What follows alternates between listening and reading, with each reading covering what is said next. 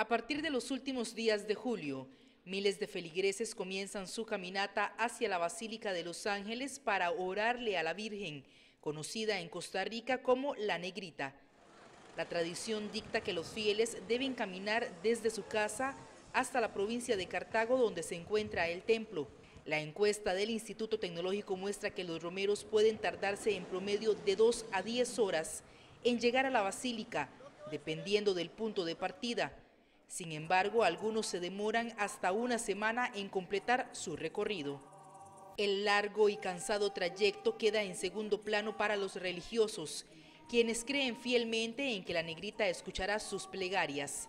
Según el estudio, el 52.7% de quienes participan en esta fiesta católica conocen a alguien cercano que recibió un milagro por la intercesión de la Virgen de los Ángeles, los principales motivos por los que hacen la romería precisamente es por algún favor concedido, por cumplir una promesa y por devoción. Otros lo hacen por tradición o incluso por acompañar a alguien.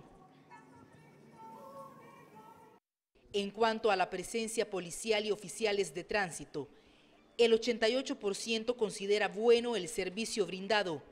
De hecho, durante el fin de semana anterior, las autoridades multaron a ocho conductores que manejaban a 40 kilómetros por encima del límite de velocidad permitido.